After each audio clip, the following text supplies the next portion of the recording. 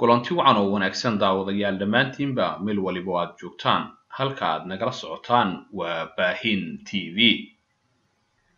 Kusoo dhawaada daawadayaal qodobo sir ah oo muhiim u ahaa caafimaadka qofka iyo weliba in qofka uu noolaado sanado badan. Waxaan si gooni ah diiradda ugu saaraynaa barnaamijkan sirta caafimaadka iyo cimri dheeriga ee mahatiir maxamed ra'iisul wasaaraha waddanka malaysia ra'iisul wasaaraha dalka malaysia mahatiir maxamed oo dhashay tobankii luulyo ee sanadii kun sagaal boqol shan iyo labaatankii da-diisuna ay tahay sagaashan iyo afar sano jir ayaa marar badan la weydiiyey sababta keentay inuu noqdo qof aysan ka muuqanin da-da uu jiro. Mahatiir oo horey ra'iisul wasaare ugu soo noqday dalka malaysia mar kalena ku soo rogaal celiyey saaxadda siyaasadda ee dalkaasi oo hadda waddanka hogaamiya ayaa sheegay inuu nasiib u yeeshay inaysan ku dhicin cudurrada keeni kara cimri deg dega caafimaad wanaagsanna uu ku noolaanayo waana hogaamiyaha ugu da-da weyn dunida. Mahatiir waxa uu sheegay in mar uu ku dhacay xanuunka dhanka wadnaha balse uu ka badbaaday. Wixii intaa ka dambeeyana uu wax ka bedelay qaab nololeedkiisa waxaan halkan idinkugu soo gudbinaynaa warbixin kooban oo xambaarsan xogaha nolosha ra'iisul wasaaraha cimriga dheer ee waddanka malaysia. Wax walba waxay ka bilowdaan cuntada uu qofka cuno loona baahan yahay in qofka uu wax yar ka cuno cunto weliba inta ay ka macaan tahay. Qofka haddii aysan ku dhicin cudurrada faraha ba'an ku haya dadka waxa uu nasiib u yeelan karayaa inuu noolaado sanado badan islamarkaana caafimaadkiisa u wanaagsanaado da weliba uu yahayna aan laga garanin. Waxyaabo badan oo ku jira gacanta bani aadamka haddii si wanaagsan loo maareeyo waxay keeni karaysaa in qofka uu ku noolaado caafimaad wanaagsan. Xitaa haddii uu noqdo qof da'ah waxaana ka mid ah xakamaynta qofka uu ku samaynayo noloshiisa iyo waxa mar weliba ay jeclaato nafsadiisa. Waxyaabaha la xakamayn kara waxaa ka mid ah qaabka wax loo cuno waxa ugu horreeya ee laga doonayo inuu sameeyo qofka raba inuu caafimaad ku noolaado waxaa ka mid ah hab cunista wanaagsan. Jirka bani aadamka waxa u baahan yahay cunto fara badan balse taasi waxaa u baahan oo keliya qofka dhalinyarada ah xilliyada uu soo karayo uu jirkiisa uu u baahan yahay korriino ma ahan inaan cunno raashin badan si aan u noolaano ma ahan inaanu u noolaano si aanu u cunno raashinno badan عنستا راشينكا ما أهان إنو النقضة وحكا بادن قياستي جيركا إنتو باحين هاي وحانا قفكا عنا راشين بادن أيو بادن تهاي إنو سيحة دافا أو عييلو غارحان لأن يرادا إيوولي بعرورتا عييل كاس دايد كاها ومفيعنا عافماد كاي عمري ديري غان مروالي بانا وحالا سعودا لباتو ين عافماد أو بادن سي قفكا ويساقا إلاليو حانونا أي كمديهين دي كاركا وحوو باحين هاي إنو عنو عنتا قياسا cuntada faraha badan marka ay gasho caloosha waxay isu beddeshaa dufan.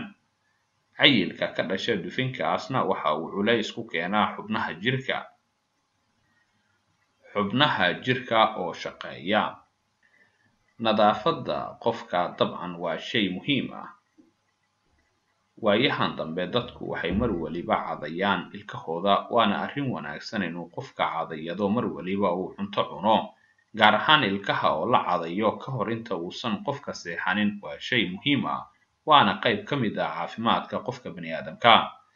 waxyaabaha kale ee qofka aadanaha uu u baahan yahay waxaa ka mid ah in xubnaha jirka ay u baahan yihiin in si isku mid a loo isticmaalo si ay caafimaad u qabaan oo ay u sii shaqeeyaan. Haddii aan si siman loo isticmaalin waxay taasi horseedi kartaa in xubnaha jirka ay lumiyaan awoodooda amaba ay ka gaabiyaan howshooda tusaalaha ugu wanaagsan waxaa loo soo qaadan karaa sheedaha jirka qofka bani aadamka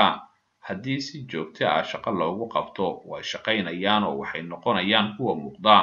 Waxaana tusaale u soo qaadan karaynaa jimicsiga oo ah wax wanaagsan oo qofka haddii uu sameeyo caafimaadkiisa uu wanaagsanaanayo dadka aan samaynin jimicsiga waxay khatar ugu jiraan in xubnaha jirkoodu ay fadhiistaan oo ay noqdaan kuwa daciif ah seedaha jirka dadka aan jimicsan waxay noqdaan kuwa daciif ah oo aan tabar lahayn si ay dadka uga fogaadaan dhibaatooyinka la xidhiira xubnaha jirka iyo howlgab noqoshada waxay u baahan yihiin inay jimicsi sameeyaan oo ay socdaan. Qofka marka uu samaynayo jimicsiga wuxuu jirkiisa u baahan yahay inuu seexdo.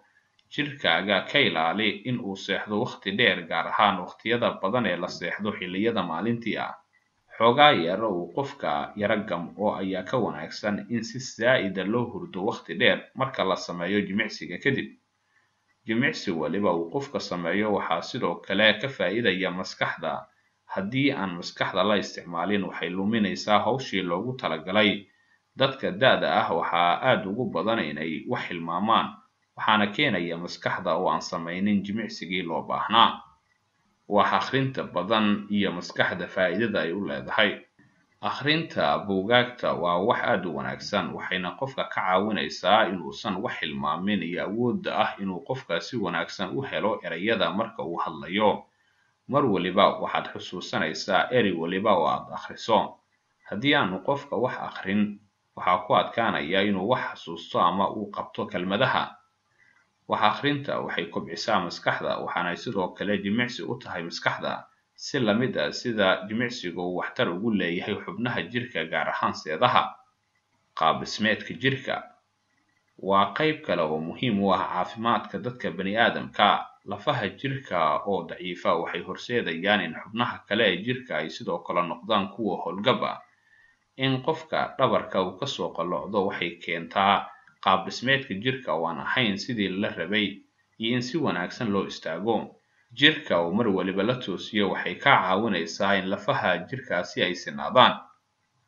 waxyaabaha kale ee gacanta ka geysan karaya in lafdhabarta aysan soo qallocanin waxaa ka mid ah in qofka uu iska ilaaliyo cunista raashinka badan ama uu cabo khamriga iyo in mar waliba uu si quman u istaago islamarkaana uu qaab wanaagsan u seexdo warbixintii koobneed oo aanu kaga hadlaynay sababaha caafimaadka wanaagsan iyo cimri dheerida kuna saabsanayd hogaamiyaha waddanka malaysia mahatiir maxamed. Waa nagaynta waad ku mahadsan tahay daawashada iyo dhegaysigaagaba